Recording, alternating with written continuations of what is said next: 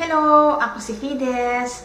Narito ako para ituro sa inyo ang ilan sa mga romantikong ekspresyon sa Tagalog. Paano ba ay pinahihiwatig ang nararamdaman ninyo sa Tagalog? Simulan na natin. Gusto kita. May gusto ako sa'yo. May crush ako sa'yo. Okay? So, yung tatlong yan, medyo hindi pa siya seryoso. Um, pero, ipinaalam nyo na dun sa ta tao na um, interesado kayo sa kanila. Okay? Ngayon naman, pag medyo seryoso na yung nararamdaman ninyo, ito na ang pwede nyong sabihin. Um, may pagtingin ako sa'yo. May nararamdaman ako sa'yo. Okay? So, yan, seryoso na yan. Yung gusto kita, minsan pwede siyang pabiro, okay? Depende yan sa uh, pagsabi ninyo. Pero yung may pagtingin ako sa'yo, may nararamdaman ako sa'yo, um, hindi siya pwedeng pabiro, okay? Um, at saka hindi siya basta-basta binibitawan, okay? Talagang pag may nararamdaman lang kayo, sa kanya lang siya sasabihin.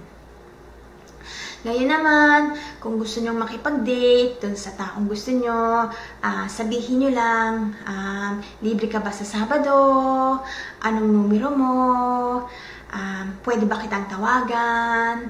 Um, may plano ka ba sa biyernes? Anong gagawin mo sa Sabado? Gusto sana kitang imbitahin sa party ng kaibigan ko.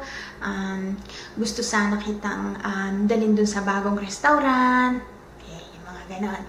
Uh, ngayon naman, kapag uh, talagang seryoso na yung relasyon nyo o nasa relasyon na kayo uh, o may relasyon na kayo, pwede nyo nang sabihin o uh, kung gusto nyo sabihin, um, mahal kita, minamahal kita, um, iniibig kita. Okay? Yung iniibig kita, um, medyo poetic siya, kaya um, ginagamit lang siya kapag uh, halimbawa gusto niyo gumawa ng tula o yung gano'n o gusto niyo gumawa ng kanta kasi um, kadalasang nakikita lang yan sa mga tula o sa mga libro, sa mga kanta, yung gano'n. Okay? Ano pa? Um, ngayon naman, kapag uh, namimiss niyo yung tao, sabihin niyo lang, namimiss kita, miss na miss na kita, naaalala kita lagi. Okay? Lagi kang nasa isipan ko. Yung salitang miss, um, pangkaraniwan na yan sa Tagalog, kaya um, talagang ginagamit na yan sa pangkaraniwang usapan. Okay? Um, ano pa?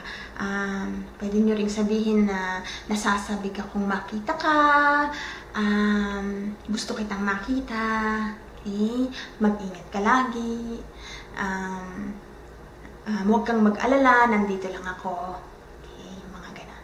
O, sige, hanggang dito na lang. Sana marami kayong natutunan. Kung meron ba kayong ibang gustong malaman, sabihin nyo lang sa akin. Isulat nyo lang siya dyan sa ibaba. Okay? O, sige, paalam na. Bye.